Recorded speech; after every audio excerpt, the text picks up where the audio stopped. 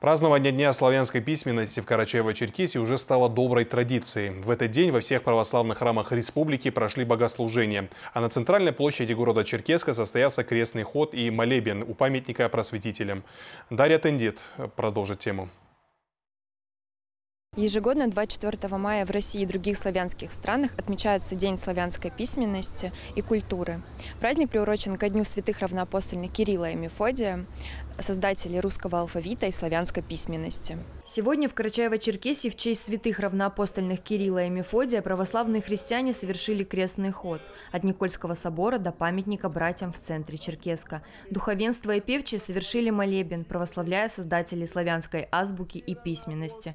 Крестный ход является символом нашей благодарности и символом победы образования над непросвещенностью. Церковь их православляет не только за труды. Они показали пример высокой, чистой и святой жизни, отметил настоятель Покровского храма Александр Нартов.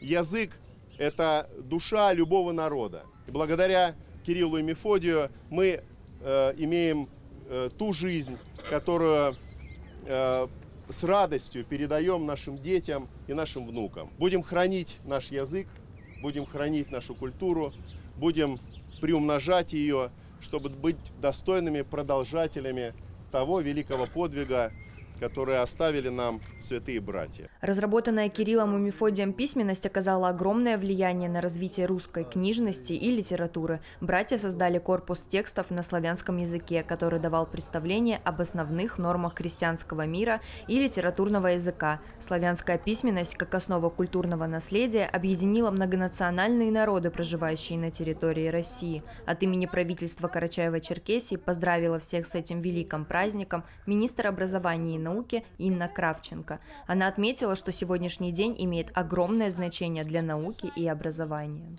День славянской письменности и культуры служит напоминанием о национальном и духовном единстве всех людей, которые имеют общие истоки, единые традиции, обычаи и культуру.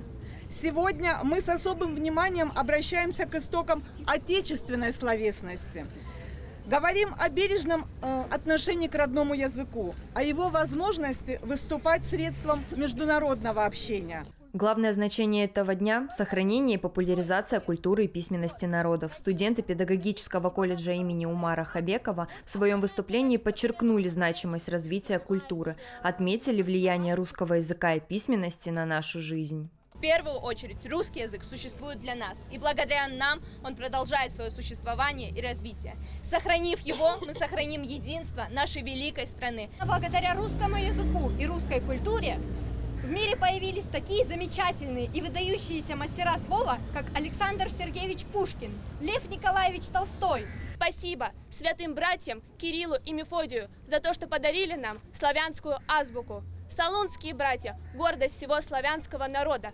Этот праздник объединяет и славянские, и многие другие народы, и каждый должен знать, ценить свою историю, беречь и почитать то, что передали нам наши предки. Мероприятие завершилось возложением цветов к памятнику святым братьям Кириллу и Мефодию. Дарья Тендит, Мухаммед Ашибоков, Вести Карачаева-Черкесия.